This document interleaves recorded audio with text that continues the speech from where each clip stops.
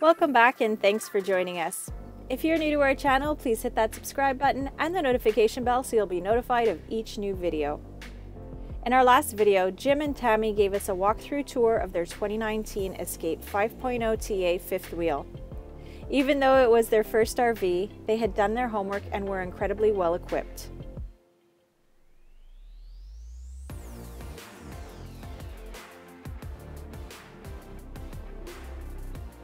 In this video, we take you on another walkthrough of our Escape 5.0 TA and discuss how we feel about it six months after our purchase.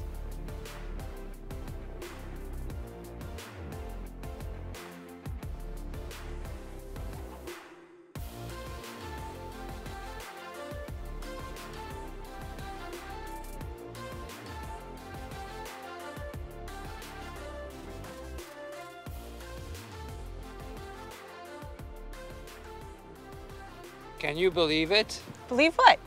It's been six months already. Oh my gosh, goes by so fast. It's been six months that we've enjoyed Casablanca.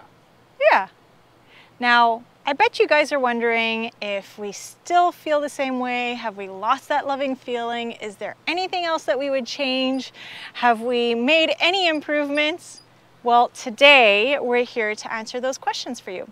So we're gonna give you a little walkthrough of our trailer, see how we have it set up, see if we've added anything to the trailer, and let you know if we've solved any problems that we've had.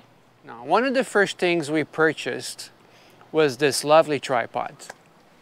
So now, we did find that the Escape was a little bit wobbly when we walked back and forth. And we actually got this tripod for, I believe was 20 or $25 marketplace.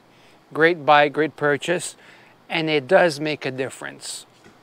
So I don't know why she was wobbling. I'm not sure if the front jacks were a little bit too high or whatever reason that it was.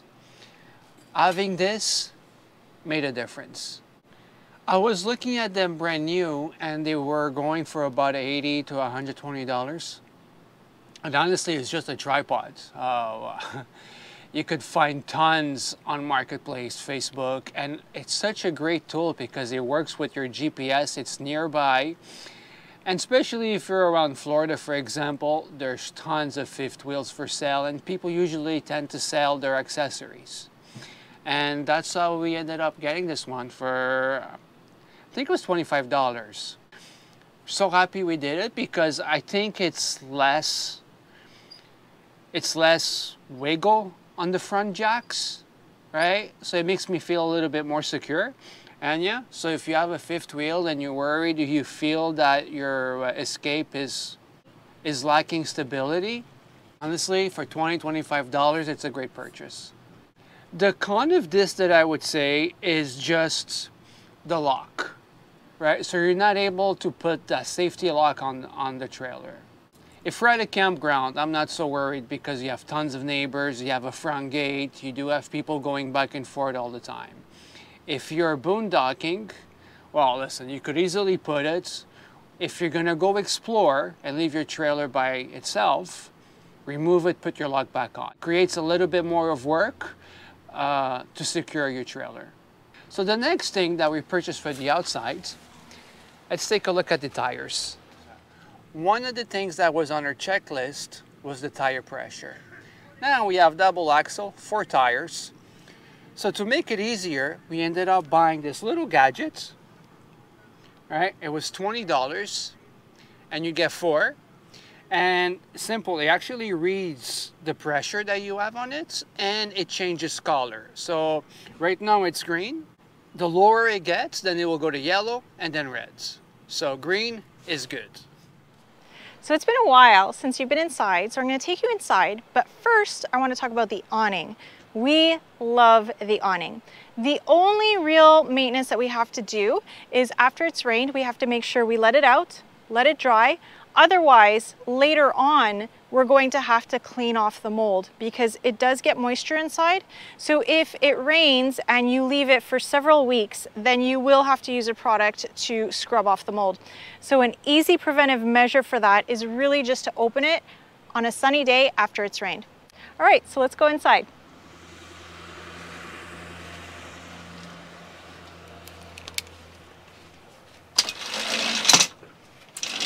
You may have noticed that we have this pocket door. Now, the new Escapes don't have this. They have the swinging door, and also it doesn't open all the way, but I do appreciate that this door opens all the way because I feel like if I have a big bag to come through here, if the door is like stuck right here, it just gives me a little bit more clearance. So just an observation, something that I really appreciate about our trailer. This is our bed area. And what we generally do is we store some of our things over here, right there. And at the moment we have the escape hatch open just to provide a little bit of light in there. This is a new addition. It's a Vizio. It's actually a smart TV and this does plug into the 110 volt but we had the Naxa TV before. It was a 22 inch. It was not a smart TV. The quality was lacking, in our opinion. The one advantage was that it would connect to the DC plug, so you could be on 12 volt if you're dry camping. But we don't use the TV enough for that to be an issue for us. We thought it was necessary to change it just because the technology has changed so much since that TV was first put out. So this is actually two inches larger than the Naxa. It's a 24 inch. And what we found is it's actually lighter than the previous TV.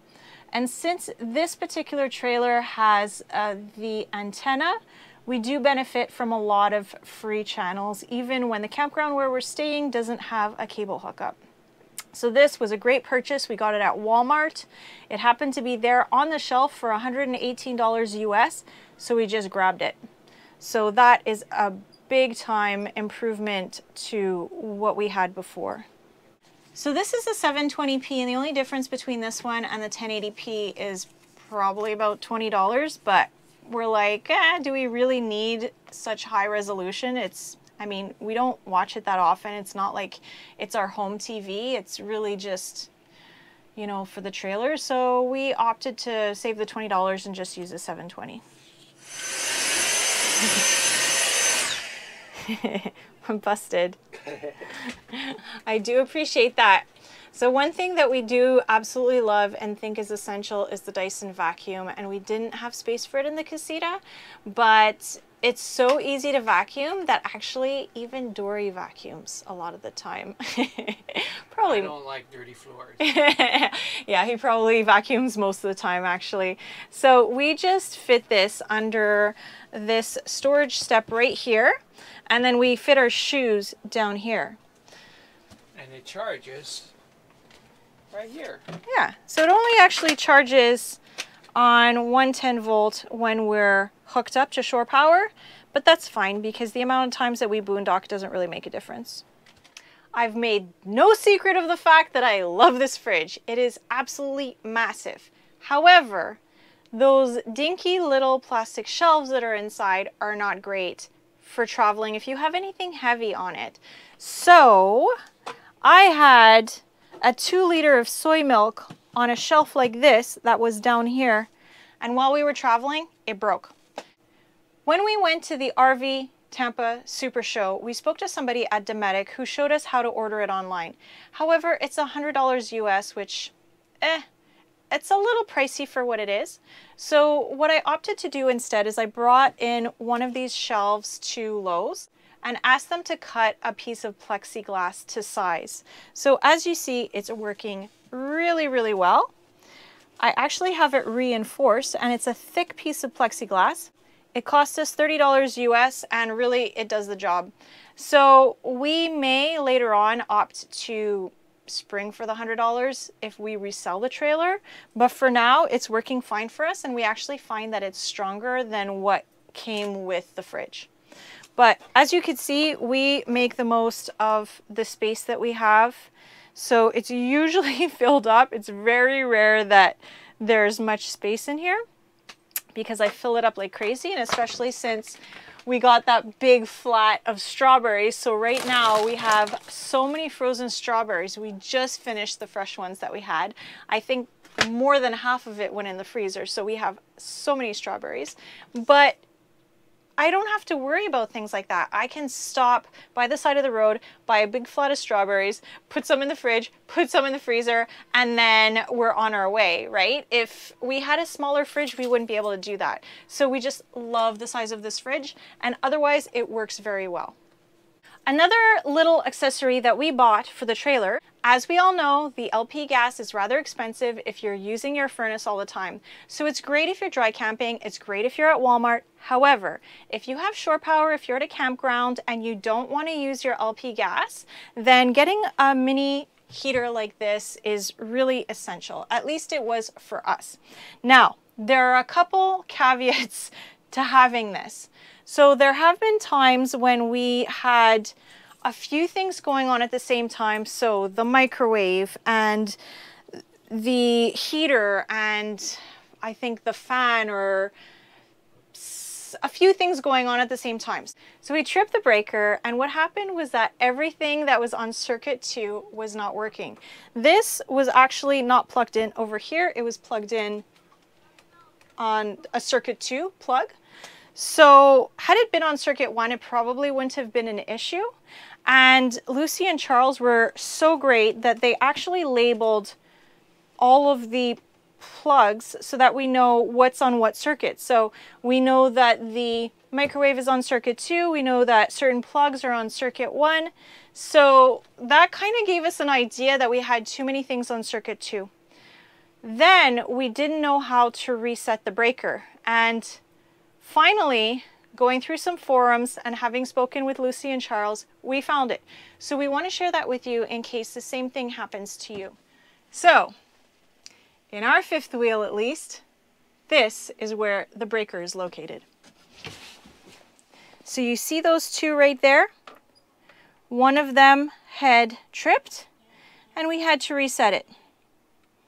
So that was a learning experience for us and now we no longer put the heater on circuit 2. We only put it on circuit 1.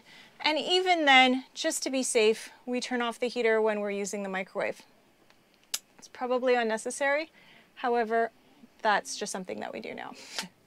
I love that we could access these batteries from the inside of the Escape. Compared to the Casita, honestly, it was a wrestling match. So this one is super easy. Just remove the cushion, you remove this lovely plate. Once you get in there, these batteries are awesome. Again, I'm not sure if it's every escape like this or just ours, but twist, pull out, we could see the levels to see if they need water or not. We use the turkey baster to fill up the water cells in the battery and you just make sure they're covered and the maintenance is done. So love the fact that it's super accessible from here. It's a good thing we're down here. We can actually check it at the same time. exactly. They might need a little bit. Mm, looks good. Yeah. The cells are covered. So, easy maintenance. Love it. Because this was something I used to dread with the Casita. Our biggest complaint of all, and one of the only things really that we were complaining about with the Escape, is the condensation. So when it was cold outside, and it was warm inside, we had really, really bad condensation on the back wall behind the bed and in the dinette between the cushions and the vinyl walls. So we didn't know enough at that point to understand why that was happening and how to prevent it. Jim and Tammy were good enough to explain a way to counter that. And since we've employed their suggestions, we have not had a problem. So the number one thing that you want to do is when you're heating and it's cold outside, so we use the little heater, you may be using the furnace, the number one thing you want to do is have the vent on. So say at about 20%, because the vent on out at about 20% is going to draw all of that condensation and it's going to suck it out of the trailer. So that's the number one way to keep the humidity and the condensation out of the trailer when it's cold outside and it's warm inside. So we would use the little heater. we started to at night and that's really when we had the biggest problems because here in Florida it's no problem during the day most times but it's at night it would get close to freezing so we would put the fan on out 20 to 30 percent but on top of that we also have this little gadget that Jim gave us where is it so this actually reads your level of humidity so it tells you what the temperature is, but also what your humidity is. So you want to make sure that that's under 60%. Now today is not a humid day, so luckily we're at 34% relative humidity. Now you want to kind of make sure that that's always, it's probably because I have my fingers on it that it just raised, but you see the smiley face? We're good. That's a cute little gadget you can get off Amazon and he was good enough to give that to us to see if that would solve our problem. So I'm going to stop touching it because I'm raising the humidity clearly. So the other thing that we do that also helps, even if it's close to freezing outside, another thing that we will do to help that is we'll have these windows here open just a crack. So what that's doing is most of the condensation is right here because when we're sleeping, we're breathing hot air and it's a very enclosed space. So it's drawing air from outside because the fan is on out and it's drawing all the condensation that we're creating from our breath and it's drawing it out. So really just a crack. And we do have to have it around 19, 20, 21 degrees in here for the dog because she gets very cold. She doesn't have a lot of fur. So otherwise we could keep it much colder because we have very warm covers. But for the dog especially, we have to make sure it's warm in here. So with these two windows open a crack, the fan on out 20 to 30%, and the heater on, we have not experienced an issue. Every time I get up, if I get up to go to the bathroom, when I get up in the morning, the humidity is always below 60% which is that's your happy place. That's where you want it to be. Especially if you're in this trailer and you want to have it long term, you want to keep the humidity in the trailer very low so that you could keep it a long time, so that it's on the road for 20, 30 years. Now, if you want to go a step further and control the humidity in the cupboards, then I definitely recommend you take a look at the video we did with Jim and Tammy. They have dehumidifiers. One of them is called EvaDry and the other is called ProBreeze. And they have several of them that they've strategically placed throughout the RV to control the humidity even further. Now, we're not at that point yet. We still haven't invested in those, but I definitely see the value in those dehumidifiers, and that's going to be a purchase for us in the near future. Ever since we've started to employ these suggestions, we have not had an issue with condensation. So in the mornings, what I'll do is I'll check the relative humidity. It's always below 60 and I'll check the walls. So I'll, you know, put my hand on the walls back there, on the sides, in the dinette behind the cushions, and we've never had an issue since we started that. There was one question that we received, right, about whether there was some kind of damage that we noticed going from minus 29 Celsius to plus 29 Celsius. Now, the only thing, if I remember correctly, is the WeBoost, right? Yeah, we had uh, something happened to the WeBoost. It wouldn't turn on, but after we leave it on for a couple of hours, everything lights up. Yeah, so either it's because of the huge difference in temperature that we traveled through. Mind you, we didn't travel through those temperatures, I mean, in the space of a few hours. It was really over several days, right? Yeah. So it also could have been the accumulation of snow and ice on top of the trailer that kind of jiggled the wires. That's what I was thinking. But then again, no, who knows? I don't think it was that because it was working fine before we winterized it. Yep. And when we got to Florida, we turned it on and it wasn't turning on. And just left it on because we didn't want to turn it off or whatever. I don't know what was the reason. We left it on and the lights came back on. Just like that. Even yesterday, we were boondocking and we didn't want to drain the battery. So I'm not even sure how much it draws, but we had it closed. We got to the campground all the lights were still off, and after a few hours, it came back on. Yeah. So, I mean, there's no point in really getting a diagnostic or anything because it is working after a while. Like once we turn it on, it does turn on after a couple hours. So that's a big mystery, but that's the only thing that we notice coming from north to south in extreme temperatures. And we don't even know if that's related to the extremes in temperature, right? It's the only thing I'm assuming because it was working fine back home. Yeah. So let's take a look at the bathroom and how we use the bathroom. So this is our bathroom. We have a beautiful window that brings in a lot of light. And you'll notice that I have a shower caddy there. That's because I use the showers and we both use the showers at the campgrounds. If we're dry camping, we mostly do sponge baths and we'll just use a shower head to rinse off. So that works best for us. It is a small bathroom, but the size of the bathroom has not been an issue because we don't use it that much. And the toilet, as you can see, it is not the composting toilet. We've kept the same toilet that was original to the trailer and we only use it for liquid waste. We don't want to deal with the sewage. We don't want to deal with the formaldehyde and the chemicals that are used for the black tank. So it is just liquid waste. Anyway, right now we're relying a lot on campgrounds because we always have to be connected either through cell data or Wi-Fi. So we're always using the bathrooms anyway. So it's not been an issue up to now.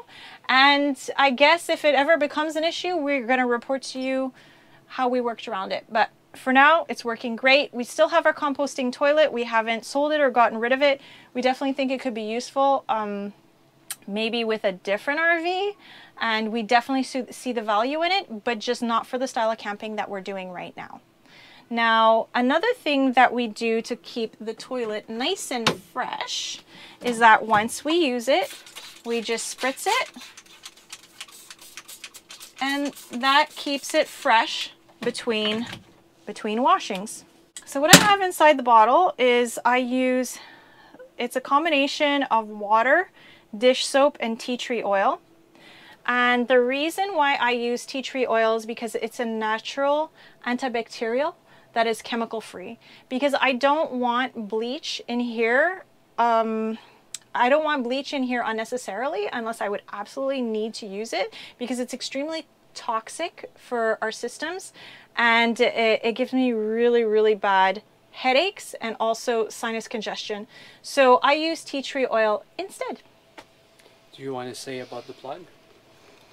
Oh, yeah, guys, honestly, do never forget this. The plug that's down here, okay, it's a plug down there and obviously if you're taking a shower, you want to have the plug open so that it drains into the gray tank. However, if you're getting close to full in your gray tank, you don't want to have that open because that's going to fill up before your sink fills, fills up. So what I discovered one day when I'd forgotten to plug it again is that it, it filled up with water and I couldn't understand why there was water there. And I'm like, oh, darn, we're full, our gray tank is full. And that was the first thing to fill up. So that was like a big mess to clean up. And on top of it, I just felt so lucky that we discovered it when we did because had I not discovered it at that point, then we would have had a major water leak in here that would have damaged the wood. So that would have been really a huge disaster and something that is good to know. And it is part of our checklist to actually close that when we're traveling because we if we are traveling with our gray tank full, you don't want that all over the place because that's going to make a huge mess in here. So that's definitely something you need to put on your checklist. The thing is, our sensors, for some reason, are not working, especially the gray. The olding is accurate. Is accurate. The fresh is accurate. Battery is accurate. The gray is not. And even after we dump, it still shows as full. Yeah. So we cannot rely on this. We pretty much, you know, go with experience. You you notice how much you've been using, how much you've been doing dishes. So for those that shower inside their escape, just just keep that in mind. The only two things that we never used on the escape, we never even tested, is the uh, barbecue propane outside and the shower outside. So just for those that are putting their options on the new Escape. Uh, maybe it's good to have. We haven't had the need to use it. We don't barbecue much outside. Right? So at least for us, I'm happy we have it, but in six months we, we never even tried it out. Yeah, we don't even have a barbecue. And to be honest, because we're plant based, I don't see us getting it because it just takes up space. And the shower again. I mean, I, I oh, was. Oh, I could definitely see us using the outdoor shower at some point. It's just If you're by a beach, you want to rinse off the sand or something like that from your feet, yeah. But besides that, Or at, at a really hot campground, it would be cool if we had a table to set up an out, outdoor kitchen. I think that could definitely be practical, and I'm glad we have it. we but need to get the table. yeah, but in terms of the actual propane hookups for the barbecue, it's not something that we're we're gonna use probably. But I do appreciate that we have it because it's good for resale. Yeah, even the shower thing. It's just we never get to it. Yeah, exactly. Can you think of anything else? No, I think that's pretty much it. Yeah, I mean, uh, we're still in love, guys. We still love this trailer. And actually, we're even more tickled with it now that we've discovered how to fix the condensation issue. So now it's not an issue anymore. And we're so grateful to Tammy and Jim, not only for inviting us into their trailer and showing us around, but also for helping us solve this riddle. We hope you liked this video. We hope it was informative. And if you have any other questions about the Escape trailer lifestyle, please put it in the comments below, like and subscribe, and we will see you in the next video.